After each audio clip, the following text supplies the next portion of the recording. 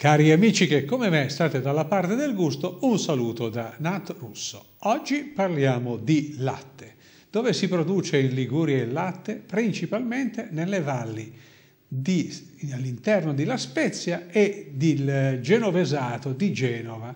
E guardiamole un po' queste valli, una bella carrellata. Cominciamo dalla Valle Stura e poi proseguiamo con la Valle Scrivia e proseguiamo con la Val Trebbia e quindi la Val Fontana Buona, la Val d'Aveto e in provincia di La Spezia la Val di Vara. Magnifiche, valli da visitare, valli da cui proviene un latte veramente particolare. Ora, anche se le aziende casearie liguri non sono di grossa dimensione, gli allevamenti raramente superano i 10 capi di bestiame, tuttavia per la particolarità degli alpeggi, il latte ligure è un latte molto molto importante dal punto di vista del gusto, della qualità. Certo, i costi di produzione, vista la tortuosità delle strade, la eh, scarsa meccanicizzazione, la scarsa possibilità di fare grandi masse, rimane molto alto. Tuttavia il nostro latte è molto apprezzato. Il latte ed i suoi derivati, tanto è che può competere alla pari con latte di altre località italiane ed addirittura europee. Bene, ma questa zootecnia ligure è così apprezzata, poi dove viene in pratica, eh, dove arriva al mercato, in quali mercati riesce a sfociare? Incominciamo con un latte che è prodotto nelle valli genovesi. In particolare nella Valle Stura esiste un caseificio di grande rilevanza. Nella zona vicina a Masone, a Masone, fin dal XVII secolo, presso il castello di Masone, esisteva una grande mandria di oltre 170 capi e da questa nasce una tradizione. Guardiamo Masone, questa, come si diceva una volta, ridente località nell'entroterra di Genova. Ovviamente bisogna immaginarsi dei paesini che una volta erano molto molto importanti. Beh, dunque eh, L'importanza del bestiame un tempo era ovviamente notevole, molto più di oggi. Il bestiame era quasi sempre a triplice attitudine, come si suol dire, perché era fondamentale per la forza lavoro, per lavorare la terra. Poi naturalmente la seconda attitudine era quella a eh, dare latte e quindi da questo derivare burro e formaggi e la terza attitudine invece era quella di carne da alimentazione, quindi come eh, fornitore di carne. Bene, il latte delle valli genovesi oggi è principalmente prodotto da tre tipologie di eh, razze mh, bovine. La prima razza è quella della razza bruna, vedete qui un magnifico esemplare che sembra guardarci con un fare quasi bellicoso. Poi abbiamo la razza frisona, Eccola qui un altro magnifico esemplare. Ed infine, più rara, la cabannina. Ed ecco un altro esemplare di razza cabannina. E naturalmente gran parte del foraggio di questi animali avviene eh, in alpeggio, quindi avviene con un particolare tipo di sapore questo latte, viene fuori un latte veramente con degli aromi specialissimi soltanto una quota parte viene compensata con dei foraggi, ma il grosso invece è un prato montano che dà quindi un eh, aroma fresco e molto molto molto intenso. Tra l'altro la percentuale di grassi è del 3,7%, le proteine del 3,3%, quindi è un latte di ottima qualità. Gran parte di questa produzione viene conferita nel caseificio di Mazzone e le valli del latte, così come sono chiamate. In questo stabilimento quotidianamente vengono pasterizzati oltre 40 quintali di latte per 150 quintali di latte che ogni giorno vengono conferiti e che vengono poi trasformati in burro, formaggi e eh, ricotta. Un'altra importante realtà invece si trova vicino a Sarzana, in particolare nella zona di Marinella di Sarzana, che tra altre cose è una splendida località. Guardate qui Marinella di Sarzana. Bene, il latte fresco di Marinella di Sarzana è un'altra delle eccellenze ligure, un alimento di grandissima qualità. Guardiamo qui alcune confezioni di questo latte.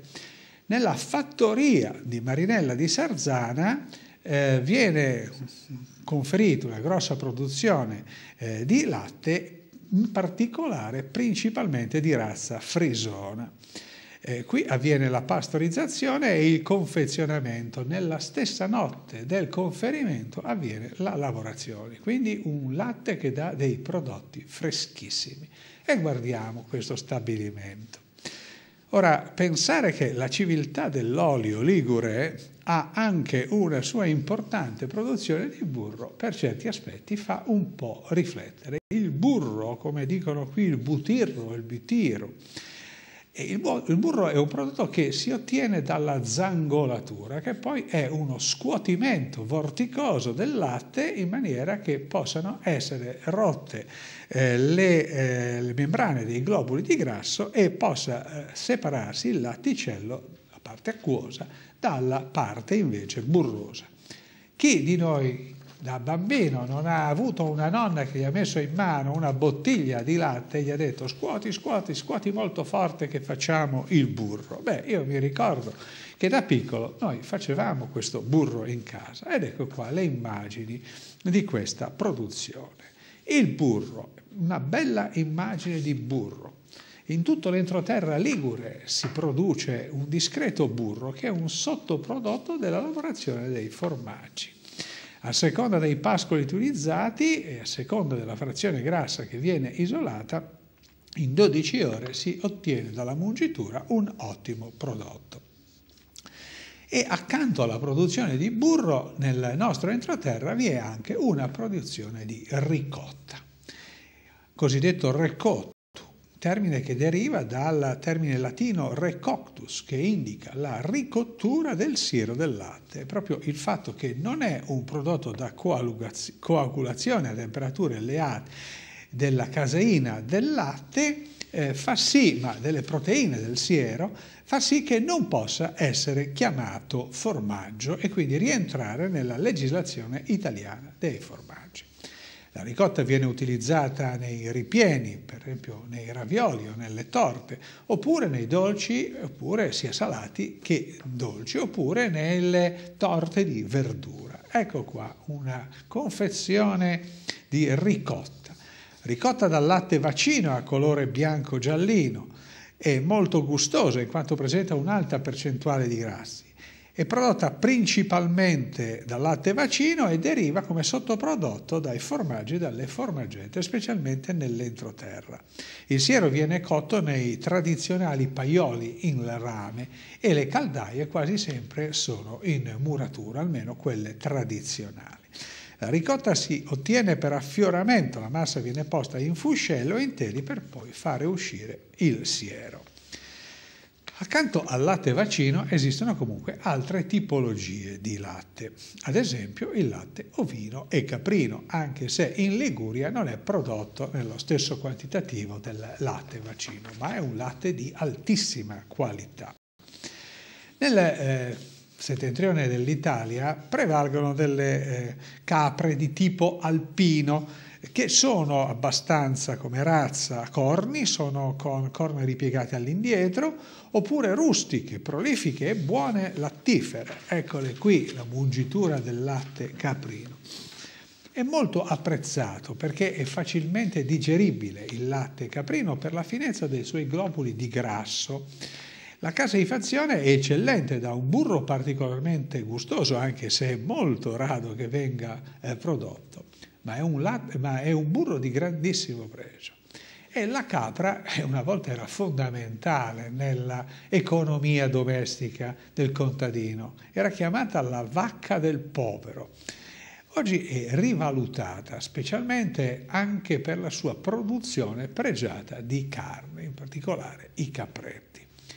Ora, le zone di allevamento delle caprine della Liguria sono ancora un tipo di allevamento estensivo, anche se si stanno cercando di fare degli sforzi per poterli portare ad un allevamento o semi-intensivo e addirittura intensivo. La, il latte di capra dà dei formaggi straordinari. Il più famoso è naturalmente il caprino. Ecco qui, un caprino della Val Brembana, un caprino di Malga delle Alpi Marittime, Val d'Aveto, Val Scrivia, Alpi Marittime nell'altra zona. Si tratta di forme cilindriche di circa 5 cm di diametro, un colore bianco, un peso di circa 180 grammi. Si tratta di tomini prodotti con un latte caprino puro.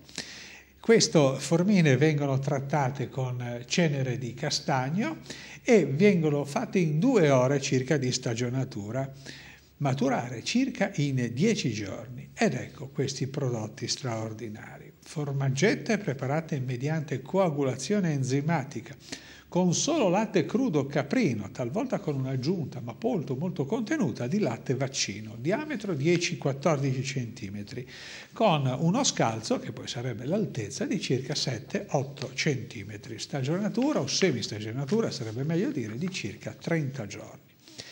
Abbiamo accennato al formaggetta, un tipico eh, formaggio quasi potremmo dire di produzione domestica. No? Viene utilizzata la formaggetta in molti modi. Un modo per poter utilizzare la formaggetta e gustarla appieno è quella di tagliarle a fette molto sottili e farla diventare companatico ai famosi testaio che sono delle focaccette fatte di farina di grano, acqua e sale e cotti nei testetti, che sono dei piatti di terracotta la cui manifattura viene eseguita artigianalmente. Ecco un prodotto tipico di questi testetti, in questo caso con delle erbette al basilico. A questo tipo di piatto si può utilizzare una bianchetta genovese o un vermentino del Golfo di Tiguglio ma guardiamo i testetti messi a scaldare sopra la brace, si scaldano, altrimenti il formaggio eh, può essere accompagnato direttamente con le fugassette, che sono poi delle focaccette di mais. Ecco una preparazione di una focaccetta di mais dentro un testetto. Fa venire l'acquolina in bocca. I testetti vengono riempiti di questo impasto che cuoce la focaccetta e poi resi incandescenti dal fuoco cuociono rapidissimi. Anche qui la preparazione è semplicissima, farina, acqua e sale, o di grano o di mais. Normalmente queste focaccette di grano di mais si degustano con delle erbette di campo bollite, i famosi testetti co erbette bugie, oppure fugassette coi coi, che sarebbero i focaccette con le foglie tenere di cavolo. Al piatto si può associare un ottimo vino rosso del Golfo del Tigullio. Scendiamo più a fondo dentro la formaggetta e intanto guardiamoci una bella serie di formaggette. La formaggetta ligure. La formaggetta è un formaggio fresco, semistaginato di latte vaccino, crudo, di forma cilindrica, 15 cm circa di diametro e con uno scalzo di 8-10 cm, un colore esterno giallo pallido, giallo più intenso in funzione della stagionatura. L'occhiatura della pasta, che poi sarebbero, una volta che si taglia, quelle piccoli buchetti che ci sono, è molto molto modesta o addirittura totalmente assente. La pasta interna è di color bianco latte ed è morbida e sfalvabile in funzione della stagionatura. In particolare in Val Graveglia o a Bonassolo, nelle altre valli Scrivi, Ostura Vara, questo tipo di formaggetta trova il suo eh, migliore luogo di eh, fabbricazione. Il latte vaccino per poter diventare formaggio ha bisogno di un caglio e in particolare la lavorazione parte da 10 kg di latte circa per ottenere un chilogrammo di formaggio. Abbiamo parlato di caglio, in particolare di caglio animale. Eccolo qui, il caglio animale, la cagliata che è fatta con lo stomaco di vitello o di agnello. Si è scaldata fino a 32-35 gradi, viene inserito il caglio e si spacca appunto il caglio che crea come dei chicchi di riso, dimensioni di chicchi di riso. Questa cagliata, a seconda dei tipi di produzione di formaggetta, viene rotta o dopo un'ora soltanto oppure dopo 24 ore. Guardiamo adesso la rottura di un caglio in questo grosso pignattone di rame. Successivamente si ha la raccolta della massa che viene fatta a mano con un telo di stoffa e a questo punto viene deposto questo telo di stoffa dentro una, la cosiddetta fasciera di legno. È schiacciata sotto un peso di ardesia o di marmo. Deve rimanere circa un giorno, ma deve essere rivoltata ripetutamente in maniera che il siero possa, il restante parte del siero possa fuoriuscire completamente. A questo punto passiamo alla salagione, che viene fatta con, per almeno due giorni con del sale grosso, con grande perizia, che deve essere massaggiata sia una parte sia l'altra parte. In particolare la formaggetta di Bonassola non ha questo processo di salatura. La stagionatura è molto molto breve, avviene in luogo fresco e asciutto e le eh, forme devono essere massaggiate con olio di oliva per evitare spaccature o indurimento eccessivo della crosta. Un tempo il latte utilizzato per la preparazione delle formaggette preferibilmente era quello di pecora perché era considerato il più completo Ogni famiglia possedeva una piccola stalla in cui c'erano 4 o 5 capi. Questi 4 o 5 capi fornivano questo latte e poi specialmente durante l'inverno figliavano e il loro prodotto a questo punto qui potevano essere, diventare carne e solitamente gli agnellini venivano poi sacrificati a Pasqua quando erano diventati abbastanza grandi e la cagliata del latte diventava importantissima. Anzi, gli agnelli, cosiddetto quaugetto, il caglietto, gli agnelli venivano dati, eh, venduti soltanto se l'acquirente garantiva la restituzione appunto del quaugetto, la cagliata che era indispensabile poi per poter fare il formaggio ma nel ponente ligure si produce una tipologia di formaggetta completamente differente da questa e in particolare nelle valli Arroscia e Argentina oppure la celebre formaggetta di Stella nel Savonese. Eccolo qua il marchio della formaggetta di Stella. Si produce nell'entroterra, ha un diametro di circa 12 cm uno scalzo molto molto basso, 4 cm e a seconda del tipo di lavorazione queste misure possono variare anche di un 30%. La crosta è completamente assente e il colore del formaggio è bianco, viene conservato, consumato fresco e solo o solo pochissimo stagionato.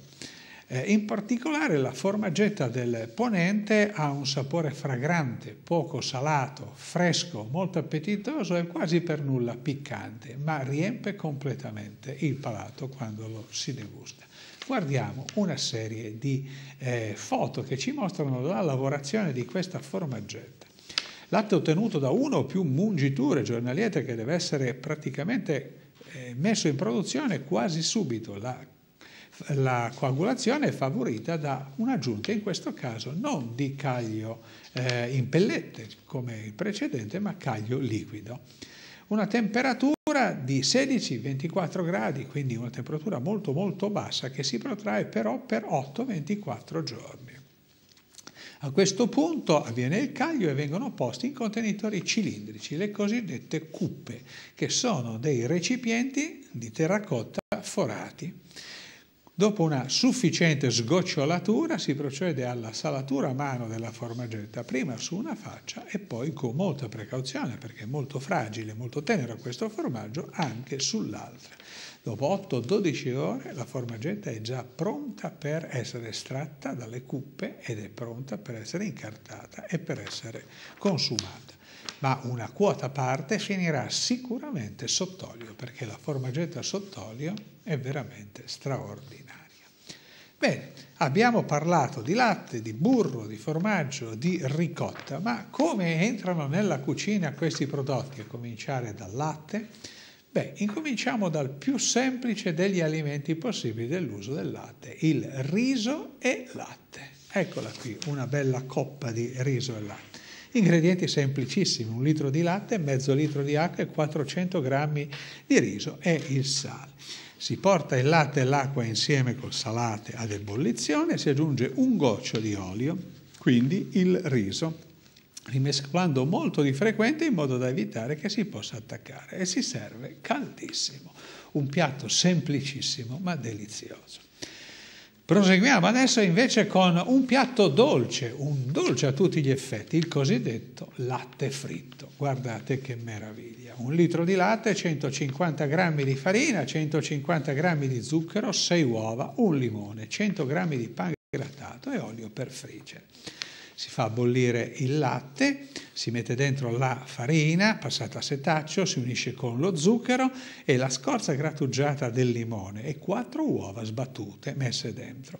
Si fa cuocere, si rimescola in modo che non si formino grumi e si ottiene una crema piuttosto densa e consistente. A questo punto si deve stendere o eh, su di un grosso piatto o su di una lastra di marmo un, eh, uno strato di al massimo un centimetro, due al massimo, e si fa raffreddare. A questo punto si solidifica questa pasta, si taglia a rombi che si passano nelle due uova rimaste e eh, quindi nel pan grattato e si friggono nell'olio bollente, si scolano su carta serpente e si servono subito ben caldo. Una ricetta familiare ma squisita, un po' dimenticata, andrebbe necessariamente riproposta e riassaggiata.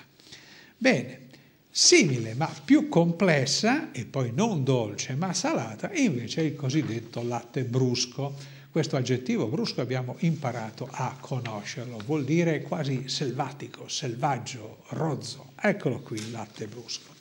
In questo caso è assente lo zucchero, un litro di latte, 150 g di farina, 60 g di burro, 6 uova, mezza cipolla, un ciuffo di prezzemolo, 100 g di pane grattugiato, olio extravergine e sale. Si trita la cipolla e il prezzemolo si fa rosolare nel burro a fiamma dolce per una decina di minuti, quindi si aggiunge la farina e si mescola. Si aggiunge sempre mescolando piano piano il latte e per altri 20 minuti si cuoce a fiamma lieve. Si ritira la casseruola dal fuoco, si aggiungono due uova intere e quattro tuorli leggermente sbattuti, tenendo da parte gli ambrumi che ci serviranno successivamente si amalgama, si sale e si rimette di nuovo sul fuoco facendo cuocere a fiamma bassa per mezz'ora, sempre muscolando. Si unge un grande piatto con un poco d'olio e si versa questa crema di latte, stendendola con la lama di un coltello o una spatola in modo che mantenga uno spessore di circa 2 cm. Si fa raffreddare, si taglia losanghe di circa 4 cm per lato, si passano negli albumi sbattuti e quindi nel pan grattato e si friggono in olio caldissimo da servire subito, veramente deliziose. Ma concludiamo con una delizia straordinaria, il gelato. Il latte è uno dei prodotti fondamentali del gelato e in particolare quando a Genova parliamo di gelato parliamo di un gusto particolare, la cosiddetta panara, che vuol dire appannare. Il termine appare per la prima volta nei cucinieri della fine dell'Ottocento, in particolare quello del Rossi, di cui qui vediamo eh, un frontespizio, e poi quello del ratto, eccola qui, un frontespizio invece della cuciniera del ratto. Entrambi ci propongono eh, due versioni, ma sostanzialmente coincidenti, dello stesso gelato. Ed ecco qui la panera, il gelato che sa di cappuccino. 50 grammi di caffè macinato, un litro di panna liquida, 300 grammi di zucchero e 12 ross d'uovo un gelato molto molto sostanzioso. Si versano tutti gli, gli, elementi in un tegame e si pongono sul fuoco molto leggero e si rimesta con una spatola in legno fino a che tutto quanto si addensi. Si toglie dal fuoco, si filtra e si passa nella sorbettiera e buon appetito con la panera. Bene, per questa puntata sul latte è tutto. Nato Russo vi saluta eh, con... Eh, questa nuova puntata di Dalla parte del gusto. I prodotti liguri, sosteneteli, utilizzateli, cucinate le ricette ligure E se venite da fuori, venite da noi a degustarli se non riuscite a trovare questi prodotti, ma ovviamente ricordatevi di essere ospiti e non turisti. Da Trusso vi saluta, buon appetito!